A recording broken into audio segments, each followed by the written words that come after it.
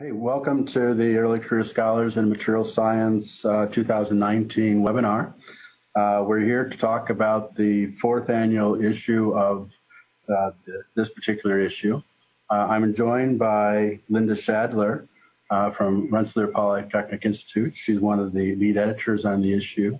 Uh, I'm Gary Messing. I'm at Penn State University, and I'm also a lead editor on this particular issue.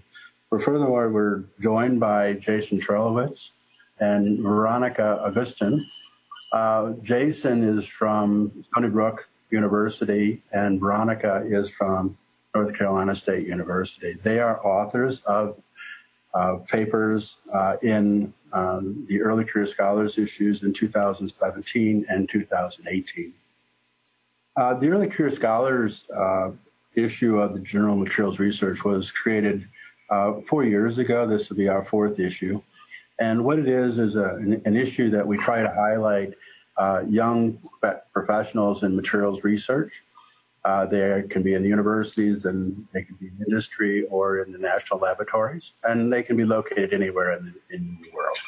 And our idea is basically to give them a platform on which they can then tell us a little bit about the kind of research that they that, that um, characterizes them uh, and what we've done so far is published a number of issues. We've got three so far, and we're on the fourth one. The deadline for this particular one will be June 1 of 2018. It will publish in in January of 2019. So we'd like to put it at the beginning of the, of the annual uh, issue year um, so that it receives the maximum citations, uh, which is always good for the author. So uh, Linda Schadler is on. And Linda, you've uh, been involved with this from the from day one as one of the lead editors. Could you talk a little bit about some of the benefits to uh, young faculty and young professionals in materials? Sure. Thanks, Gary. Yes, um, I always send the announcement first to the assistant and associate professors in my own department because I feel there's a lot of value to putting a paper out there that really introduces your lab and what you're trying to contribute to the community in a way that doesn't prevent you publishing your research in other journals as well, because this is sort of a conglomerate of the impact that you're trying to have in the community. It's a high profile paper. It's in, in an issue where there are lots of other high profile papers. So the community is starting to come to that issue to learn about some of the new faculty in the field. It's open access, so it's available really around the world. And so that also gives you maximum exposure. And we're building this reputation of putting together the top research from new investigators all in one place. So it's a chance to really raise your profile.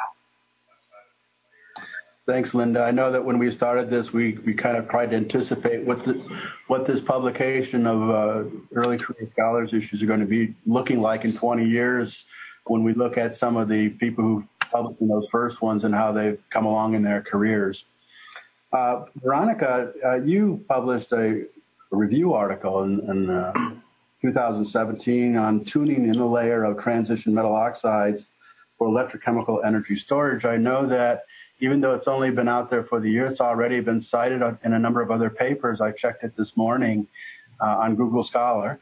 Uh, so tell us a little bit about how you felt the, the process of the review process and why you're publishing in this particular issue.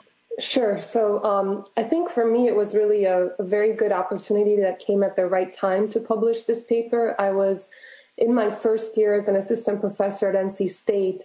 And so I didn't have any experimental results yet that I could share in, in a, a, publication um, by June 1st of that year.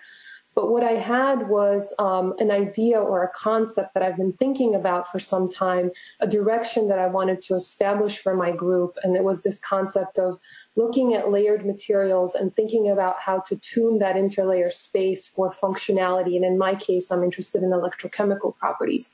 Um, and I felt like I really needed to get that out now because, like you said, this paper has already been cited a few times. And I think it's really uh, a concept that has um, captured not just my imagination, but the imagination of other groups around the world. Um, and one of the things that I liked about publishing in JMR is because Materials Research Society is my um, is my uh, professional society home, It's where I gave my first um, research presentations at a conference. Um, it's where I organized symposia um, and obtained funding from sources like the Materials Research Society Foundation. So it felt very natural to um, be part of that issue in the Materials Research Society journal. Um, and then lastly, um, like I was saying, I needed to have an opportunity to summarize a lot of thoughts on a particular topic. And what was really nice is that at the same time that I was writing this review paper, I was also writing um, the NSF career proposal, which is a big kind of milestone for all of us junior faculty. And um, I was very lucky. I was awarded the career proposal with the submission that summer. And I felt like having the review paper in JMR, which gave me a lot of the background information for that proposal, um, just kind of went together. It was very synergistic in what I was trying to achieve. So for me, um, it was really a, a, great opportunity that came at the right time and, and from the professional society that I really um, identify with the most. Very, very good, Veronica. I, I know that uh, there must probably also got some invitations already to go speak. People started seeing your your thoughts and what's going on with the these trans layered sides. It's uh, I can just tell that there's a, a certain uh, vibrancy about that particular publication. Uh, Jason, I, I, I know uh, you and I met actually uh, last year and uh, we had a discussion at a meeting. Why don't you uh, tell us a little bit about the origin of your paper and you know what you thought about the process and the outcome of publishing in JMR? Even though, by the way, it's just now been published. I think it was published online uh, as opposed to in uh, the issue, but it was published online uh, earlier when it was accepted. Jason? Yes. So um, initially, actually, the the work that uh, I was looking to put into uh, JMR, and it was initially intended to go into JMR, is on uh, looking at microstructural stability of uh, nano, nanostructured tungsten alloys. And um, a big motivation behind this work is considering these materials for future fusion energy applications. And I think I have to echo a little bit of uh, one of Veronica's statements, which is at the time of writing this, uh, I was submitting my DOE early career proposal, and uh, the article was accepted and and published online. And uh, shortly after, um, I was also selected and awarded the DOE uh, early career uh, award. So. Uh, definitely, there are a number of implications that, that having an article focused in an early career scholar issue provides uh, junior faculty members that are that are writing these very focused grant proposals to um, for early career awards. But uh, I think that aside, my my uh, intention was to actually put this work in journal materials research because it it combines two aspects of of my field in metallurgy, which is uh, some some work on more classical materials, classical uh, metals, so tungsten, but it brings uh, really brings in this idea of incorporating new types of solute stabilized nanostructures into these materials. And um, the Materials Research Society in particular and the Journal of Materials Research uh, has really done an excellent job at, at focusing on some of these aspects of nanostructuring in metals.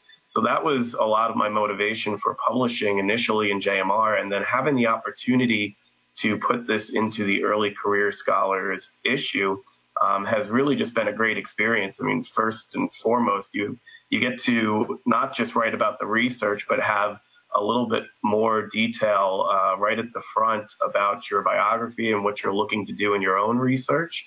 And um, I've had a number of colleagues uh, send me messages and and actually already comment on the work and and I'm surprised at that, especially since you're saying that it's it's really only uh, hit uh, on the internet um, in, in, open access, which is excellent uh, recently. So it was it was really a great experience, and I, I can't be more of an advocate for it uh, for publishing in the early career scholar uh, scholar issue to new junior faculty.